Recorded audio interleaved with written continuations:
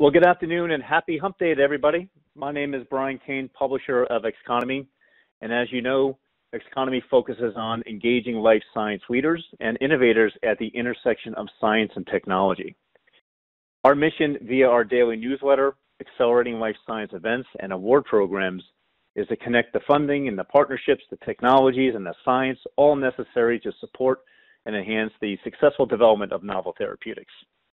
Today, I'm happy to welcome you and over 230 of your colleagues to today's presentation, Next Generation Drug Discovery, Leveraging E3 Legacies for Targeted Protein Degradation, brought to you by Xconomy and presented by Eurofins Discovery. Today, we're going to discuss how E3 legacies have emerged as pivotal targets for drug discovery. And using the promising new paradigm of targeted protein, protein degradation, there are, there are actually hundreds of diverse E3 legacies with differentiated tissue expressions. This new paradigm may well define a, the next dimension of precision medicine, defined by an axis of tissue-specific activity. So needless to say, this is going to be an exciting presentation, which we hope will generate a lot of questions and a lot of, rich, a lot of interaction from you folks.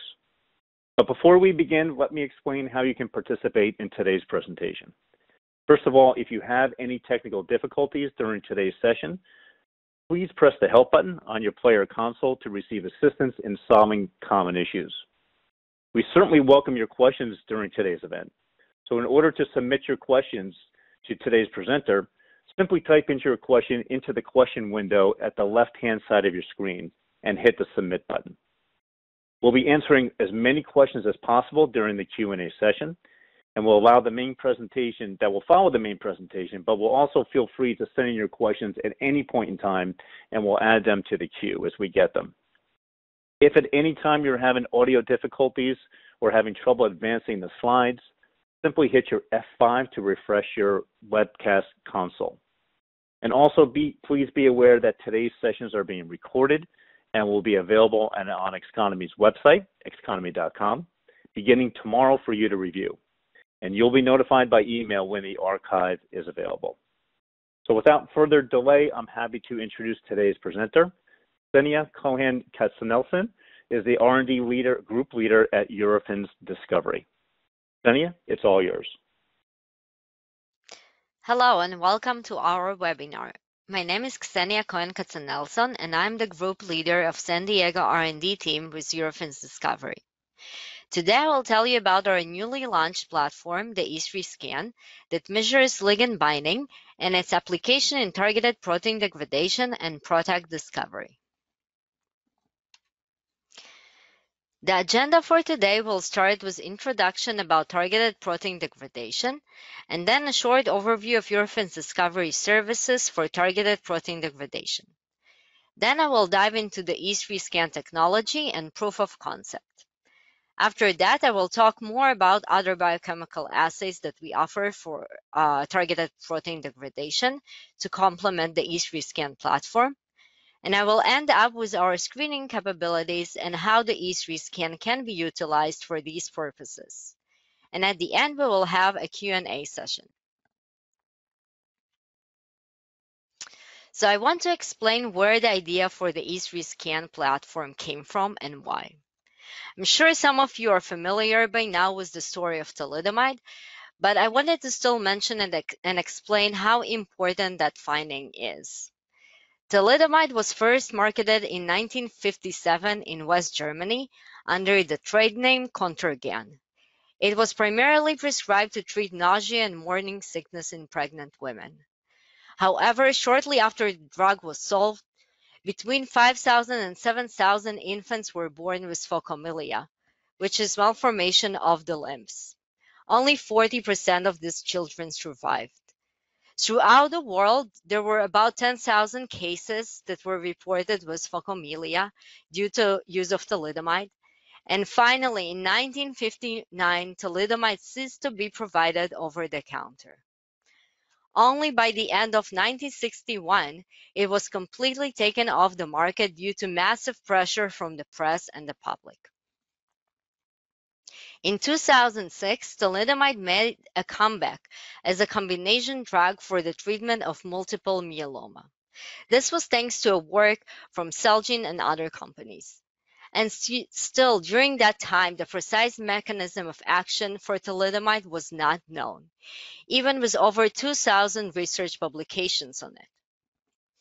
Only in 2012, studies started to emerge showing that thalidomide's target is the E3 ligase cereblon.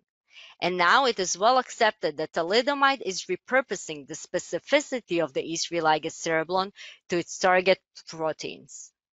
These findings and others led us now to a very popular approach in drug discovery. Can we make more drugs like thalidomide that will retarget the specificity of an E3 ligase to a target of interest and degrade it? The potential of this approach is huge. This means we can now target previously thought undruggable proteins such as transcription factors, scaffold proteins, and other non-enzymatic proteins. There are two ways we can uh, approach the targeted protein degradation. One is we can use a molecule called PROTAC, proteolysis targeting chimera, for specific targeting of an E3 ligase to a target of choice. The PROTAC technology was first described back in 2001 by Kathleen Sakamoto, Craig Preuss, and Ray Deschies. It is a chimeric protein or a molecule comprising of a ligand for an E3 ligase connected through a linker to a ligand for a target of choice. This can bring together the E3 ligase and the target protein to close proximity, enabling ubiquitination of the target protein by that E3 ligase, and eventually degradation of the target protein by the proteasome. We can also use a molecular glue type of compound that exactly like the name suggests, glues together an E3 ligase and a non-native target protein to close proximity. In this case, the outcome is the same. The target protein is marked for degradation by the proteasome. Targeted protein degradation holds a great promise as compared to small molecule drugs. I'm to mention a few of the benefits uh, of this. Undruggable protein, such as transcription factors, scaffold proteins, and non-enzymatic proteins, cannot be targeted for development of a small molecule drug because this needs to be inhibiting their function. But they can be targeted for protein degradation using a PROTAC or molecular glue. Also, small molecule drug works by binding to the active site of a target whereas degraders don't need to. They can bind to another site on the target protein. In addition, degraders can be tissue specific by choosing an E3 ligase that is specifically expressed in a certain tissue. This is much harder to achieve as a small molecule drug. Degraders can be designed with substoichiometric potency for their targets, which is very difficult to achieve with a small molecule drug. Small molecule drug can lead to drug resistance and compensatory feedback activation, whereas degraders are less likely to do so. In addition, degraders are uh, very specific and are less likely to have off-target effects compared to small molecules that are known to have off-target effects. Eurofins Discovery offers a variety of assays and products for targeted protein degradation drug discovery space. To detect binding to an E3 ligase, we have the E3 scan that I will tell you more about shortly. To detect binding to a target protein or a disease protein, we offer the Kinome scan, BromoScan, and BCL2 scan, and I will mention these as well later. In addition, we also offer cell-based assays and phenotypic platforms. This is to assess target degradation and target engagement. And we also have the chemistry beyond the rule of five. If you're interested in any of these other additional services, please reach out to me and I will connect you with the appropriate experts. So I will talk now about the E3 scan ligand binding assays. Due to the high demand in the drug discovery field for a platform that can screen across the E3 ligase family, we applied the Kinome scan technology to develop a substrate recruitment site-directed competition binding assays for diverse E3 ligases. Humans have an estimated 600 E3 ligases for which we would like to develop assays. We have done so in the past for kinases, bromodomain proteins, and BCL2 family proteins. The assay principle is described here. The E3 scan is very similar to the KineMScan technology and has three key components in the assay. You can see in panel A, the first component is an E3 ligase that has a DNA tag on it and is expressed using our proprietary mammalian or phage display expression systems. This is not a purified protein, but a protein extract, which makes it very easy and fast to make and scalable. The second component in the assay is an E3 ligase ligand that is immobilized on a solid support bead. And the third component is either a test compound or a control solvent. So the three components are incubated together for one hour, after which the beads are washed and elution is performed for 30 minutes. The elution is then used for an ultra-sensitive qPCR readout. So in panel A, in the absence of a test compound, the E3 ligase binds to its ligand on the beads, the wells are washed and eluted, and its signal is detected through a qPCR readout.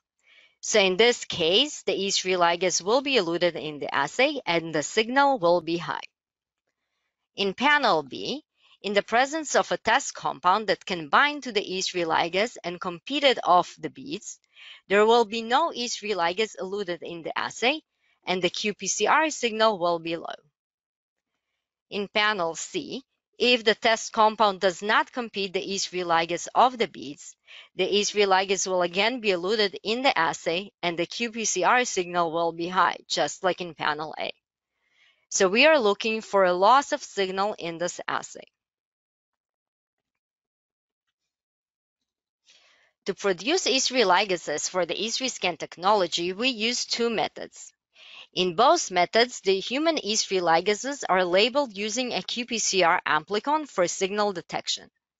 They are then expressed using two systems. One is the T7 phage display system. In this system, the E3 ligase is cloned into the T7 phage genome and displayed on the phage code the qPCR amplicon is cloned into the phage genome as well. The other system is mammalian HEK293 cells. In this system, the E3 ligase is N-terminally fused to the DNA binding domain of NF-kappa B and transiently expressed in 293 HEK cells. The qPCR detection amplicon that binds to the NF-kappa B domain is added to the reaction. As a proof of concept, we developed E3 scan assays against several well-studied E3 ligases that I will present to you now.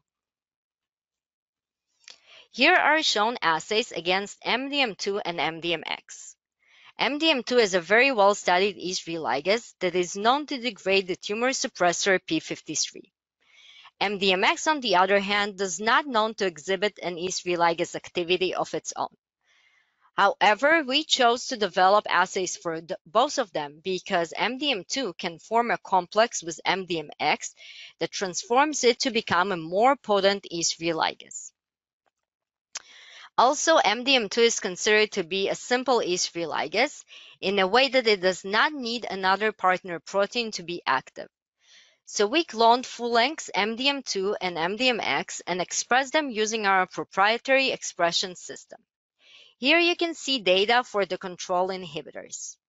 For MDM2, idazanutlin and nutlin 3A give comparable KDs to literature values measured by HTRF and SPR techniques, and nutlin 3B acts as a negative control, just as expected.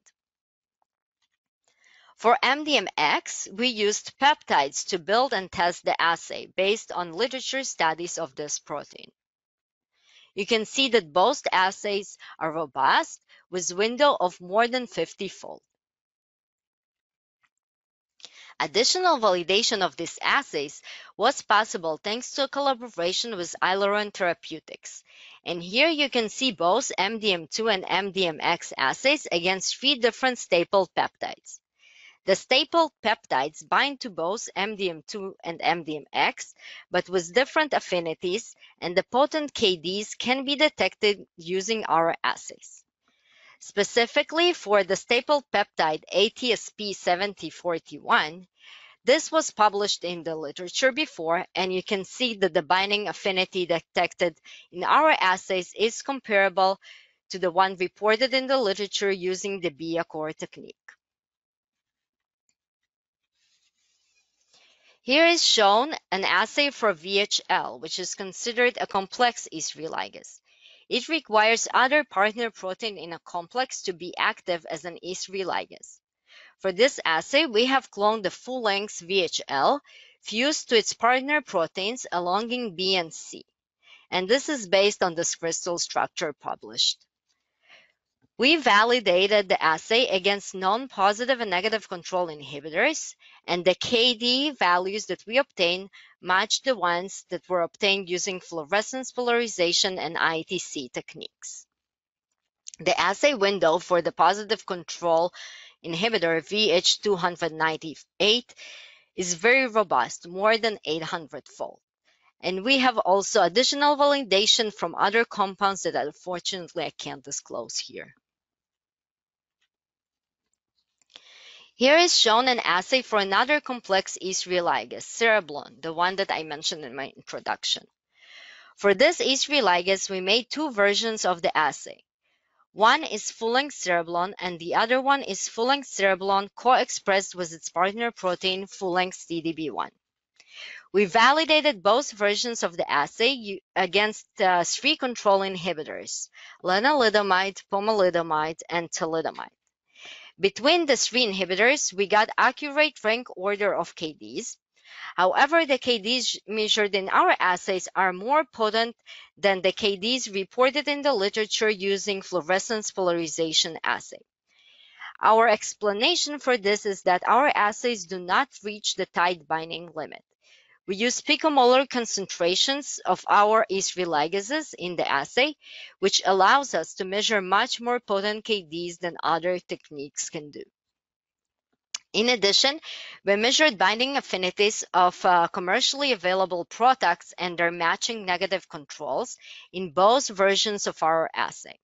As you can see in the table here, there was no significant difference in the measured KDs between the assay of cereblon alone or the assay of cereblon co-expressed with DDB1. In addition, we did not observe a difference in the assay signal. So both versions of this assay are commercially available. Here are shown assays against three beer domain E3 ligases, CIF1, CIF2, and XIAP. These E3 ligases are considered simple E3 ligases, and each of them has three conserved beer domains that can bind to different proteins which are targets of ubiquitination. We have developed assay against the full-length version of each of these proteins. And we are also in the process of developing assays against the individual beer domains of each of these targets. Each of these assays was validated against four known inhibitors, and the measured KDs for each of them is summarized in this table here. Also are shown a couple of representative curves for each of these E3 ligases.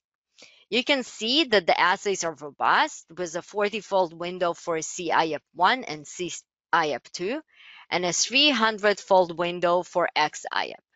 And in addition, we see a rank order of binding to the control inhibitors as seen in the literature. So in summary, we have developed commercially available E3 scan assays against seven E3 ligase targets. All the assays are robust, high throughput, and give high quality KD curves. The assays demonstrate correct potency and rank order for the control inhibitors that were tested. The assays do not approach the tight binding limit and can detect picomolar binding of compounds and peptides. As you can see from the two family trees of a simple and complex E3 ligases, we have around 600 members. So we have more assays in development right now that are not offered through the commercial portfolio for other E3 ligases. And for our assay development, we do need a ligand, but we are not limited to a known small molecule ligand. We have used peptides as ligand for other assay development in the past using this technology, and we are developing now additional targets using this approach. I would like to emphasize the advantages of the E3 Scan platform. First of all, quality of data.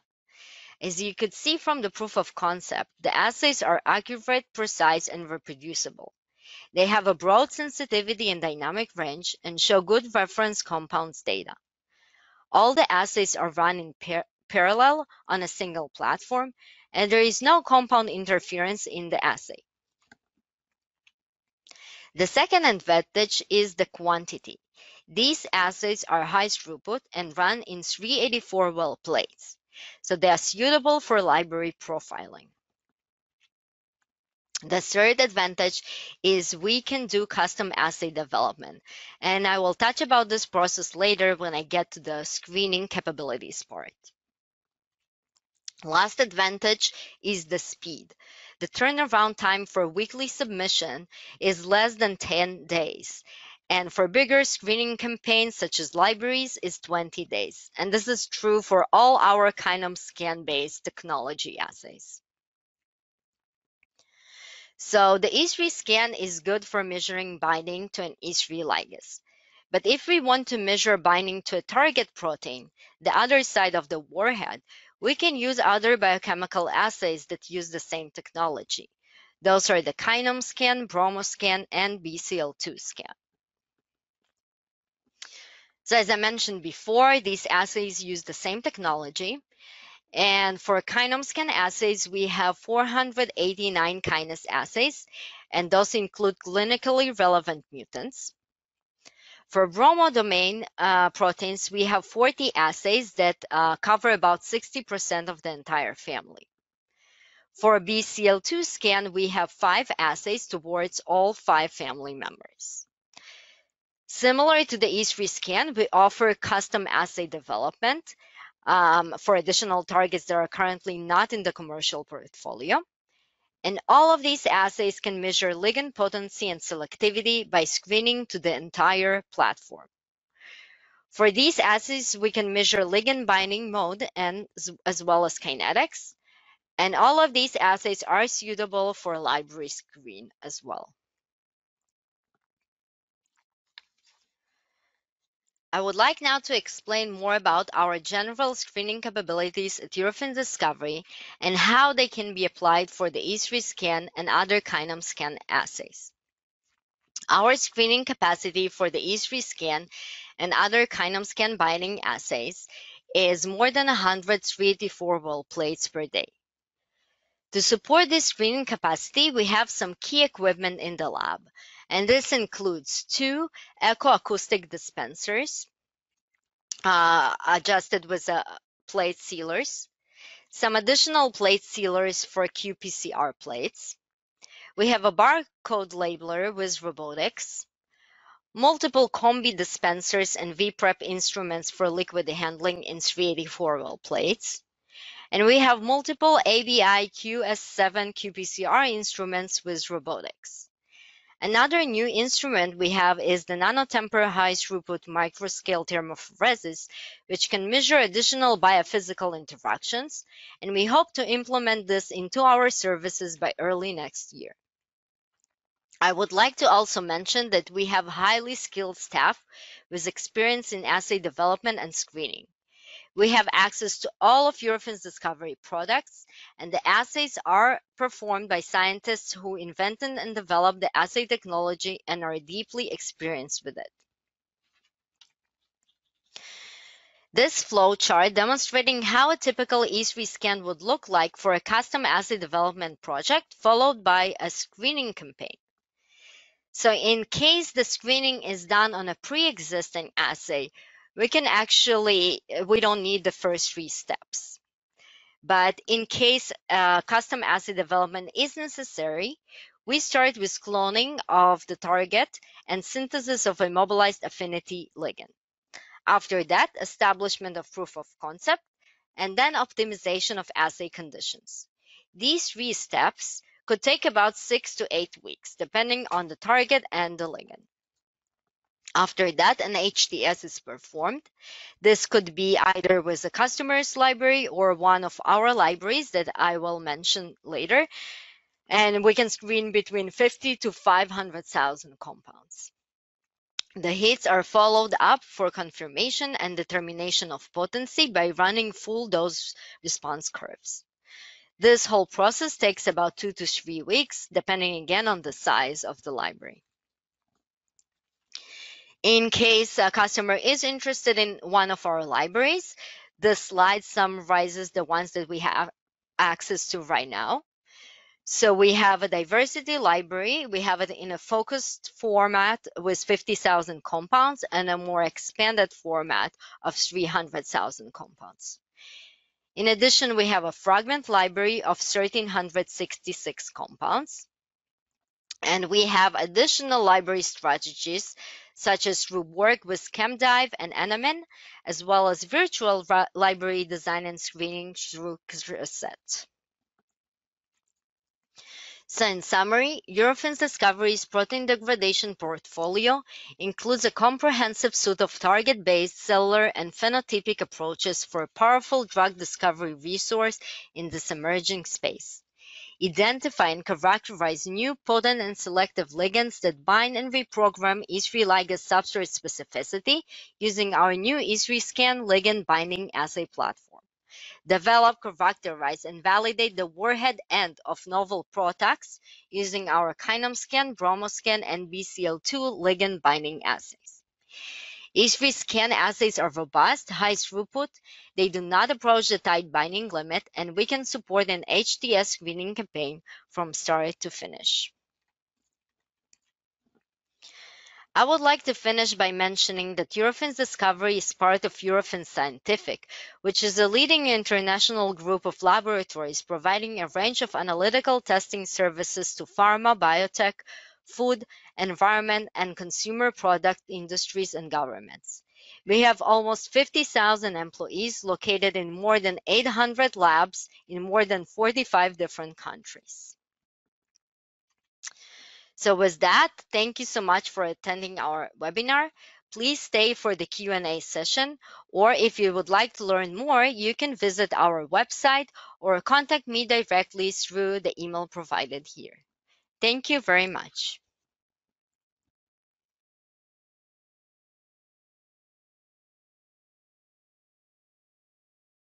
Senia, thank you very much. That's a very comprehensive presentation. You, you certainly covered a lot of information and broke it down very, very effectively.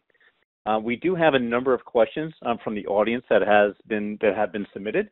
Um, so for the audience out there, while Senia is, is answering your questions, please take a moment to check out the resource links uh, for additional information uh, and a link for actually uh, Eurofins' upcoming webinar uh, a little later on uh, in the year here. But uh, Senia, um, the first question that we have is, do the KD values match using other technologies?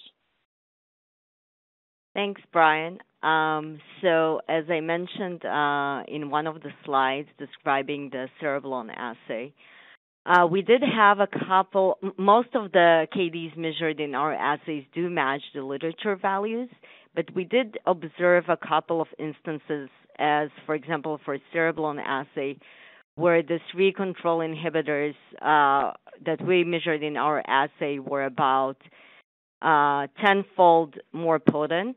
And the reason for that is in our assays, we use very low concentrations of the E3 ligases.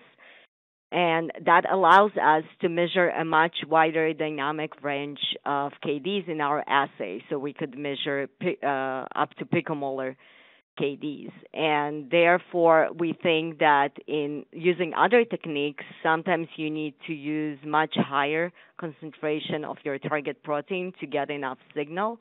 And you are limited by uh, how potent of KD you could measure and we think this is why uh, we could measure lower KDs in some of the assays. Perfect. Great. Thank you uh, very much. Um, next question. Do your CBRN and VHL assays express uh, DDB1 and alongin B and C?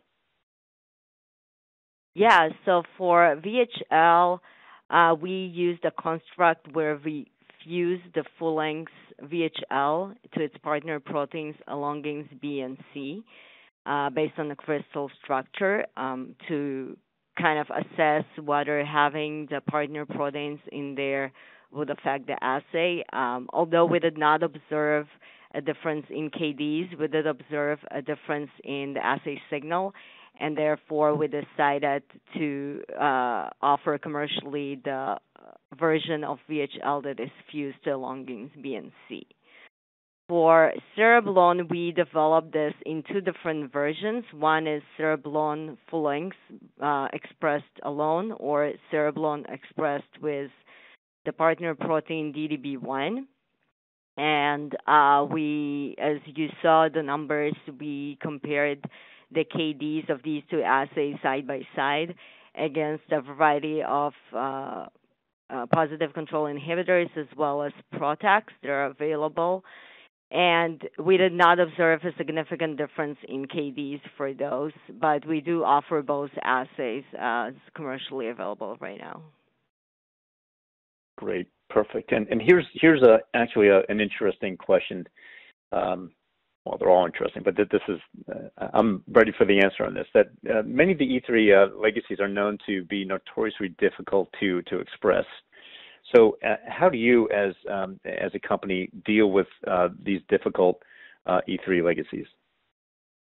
Um, that's a good question. So, actually, mm. the big advantage of our technique or technologies that we don't use purified proteins which that's what makes some of these proteins are very difficult to express and have stability issues.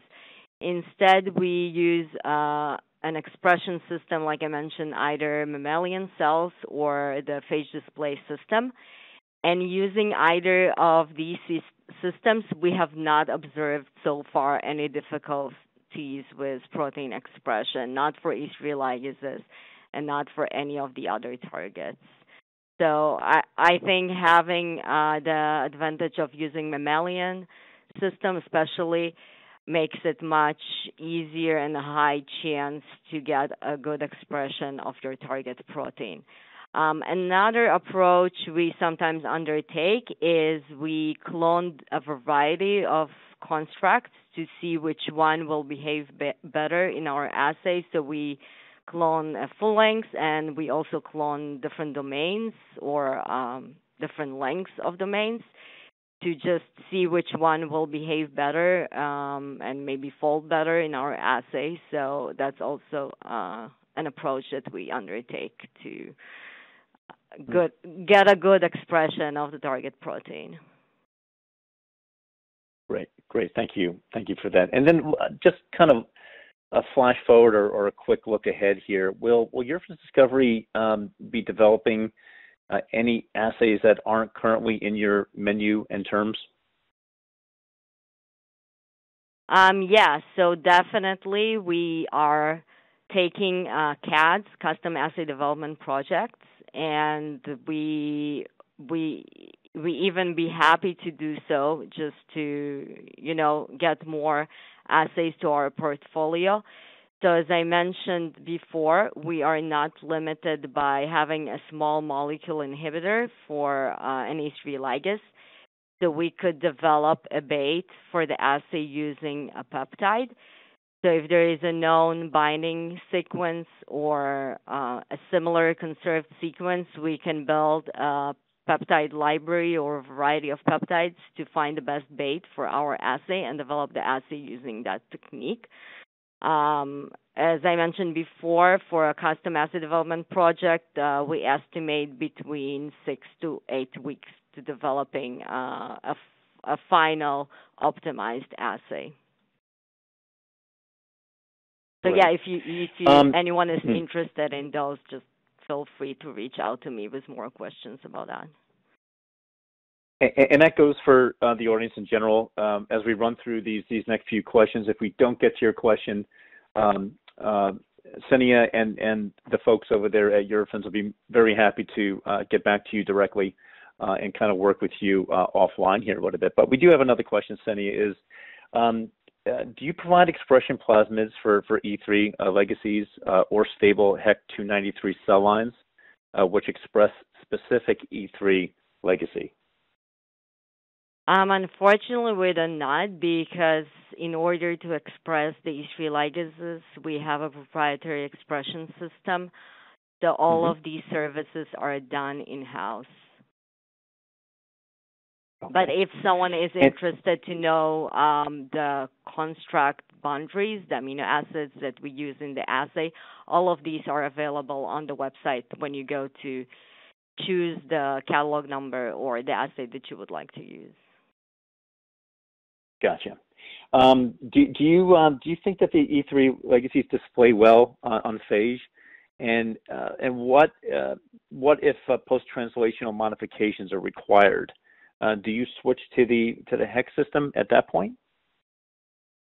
Yeah. So uh, yes, they will display well on phage. The only limitation with phage, you would need, you probably will not be able to use a full length protein, uh, but a shorter construct that will include the E3 ligase domain and uh, certain boundaries around it will be totally fine to express in phage, and we have done so and uh, what else we could do? We could build constructs in parallel for the two different systems and test them in parallel uh, in our assay and see if there is any difference in their behavior in the assay. And again, we have done so in the past to choose the best assay conditions uh, for final assay. Great, great, Senia. Well, I, I, tell you what, everybody, we are sensitive to the time and know that everybody is busy, and we certainly appreciate everybody taking time out of their, their day to listen uh, and kind of interact uh, with Senia's presentation. If you do have any outstanding questions or follow-up questions um, following this presentation, um, and if we didn't get to your question uh, for some reason, uh, Senia, the Eurofins Discovery team will be more than happy to get back to you uh, directly. So. Uh, on behalf of Eurofins Discoveries uh, and Xconomy, uh, thank you very much for attending this webcast. we hope that you have a productive remainder of the day. Please take care and please stay safe. Have a great afternoon. Bye now.